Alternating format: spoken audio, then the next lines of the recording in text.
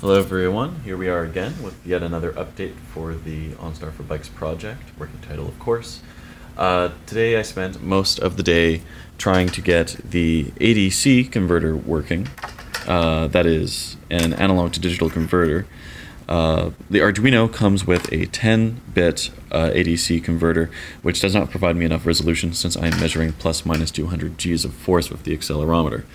I'm using the ADS 1015 uh, with a breakout board courtesy of Adafruit, and this will let me measure uh, theoretically between uh, a value of 0 to 4096 on a uh, 3.3 volt input. Unfortunately, due to the nature of these ADC converters um, and the gain uh, measuring and, and not blowing up the damn thing, I can only get a range of 0 to 1650, which is all right because that lets me measure up to um, a resolution of 2 millivolts. That is one bit uh, on the 0 to 1650 range uh, corresponds to 2 millivolts, which is roughly one third of a G uh, based on the uh, capacity of this chip. So now what you'll see is an actual live graphing, unlike before where it was just showing uh, the accident detection and beeping.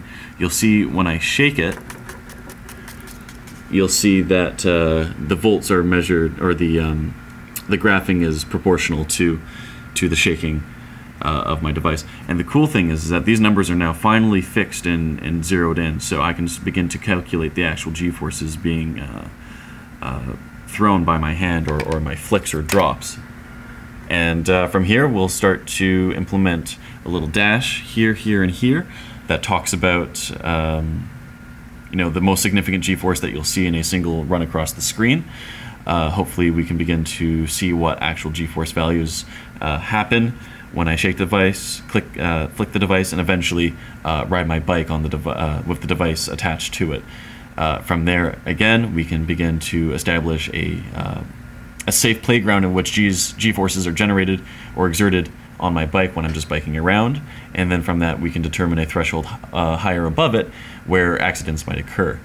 Um, the cool thing is, is that since the, the, the, the sampling rate of the ADC is currently, I believe, set at uh, a thousand samples a second. Uh, this guy provides uh, actual data 50 samples a second, and uh, of course the uh, Arduino does 16 megahertz. So the limiting factor is the uh, is the accelerometer at 50 hertz, which is better than the 1000 default because of a noise thing.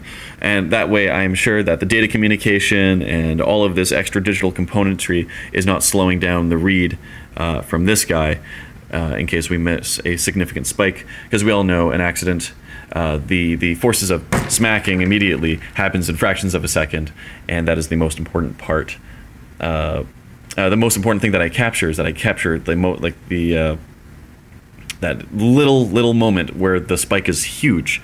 If I miss that, if the samples between two only get the very beginning, not the big spike, and only a little bit of the end, it won't trigger. It will not trigger uh, an accident, and that is not good. So, thankfully, all of this wizardry and all this stuff I spent hours and hours working on today and yesterday um, will not get in the way of a fast sample rate, which is 500 times a second. I think that's pretty sufficient for measuring uh, an accident delta. So that's the update. Uh, thanks for you know listening to my boring talk for uh, four minutes. If you have any questions about what I'm doing, because uh, I mean this is all pretty fairly technical. I only learned half of it today.